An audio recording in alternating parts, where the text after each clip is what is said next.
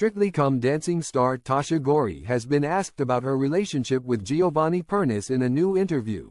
And her reply was very to the point Tasha Ghouri has firmly dismissed any further discussion into her previous fling with ex-Strictly professional Giovanni Pernice, delivering a sharp four-word rebuttal.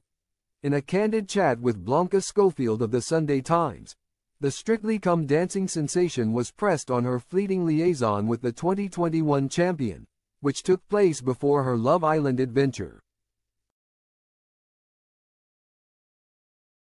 This inquiry emerges amidst the backdrop of Giovanni's former colleague, Amanda Abbington, accusing him of bullying this year, sparking a BBC probe and his eventual departure from the show.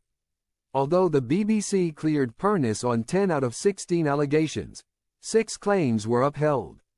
Reports suggest Tasha had secret dates with the dancer after his victory with Rose Ayling-Ellis, the program's first deaf contestant.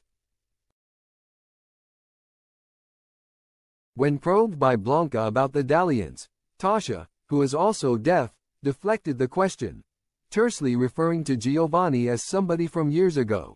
It has been previously mentioned that Pernice and Tasha exchanged follows on Instagram, engaged in private conversations, met in 2022, and subsequently went on dates. An insider close to Tasha told Mail Online that he showed persistent interest in her, noting their shared connection as dancers and Pernice's insights into the deaf community through his partnership with Rose. The source further revealed that Tasha was impressed by how gentlemanly he was, with Giovanni taking the former Love Island star to London eateries. They claimed, their romance didn't progress because Giovanni was traveling a lot with the Strictly tour and Tasha was already involved with someone else.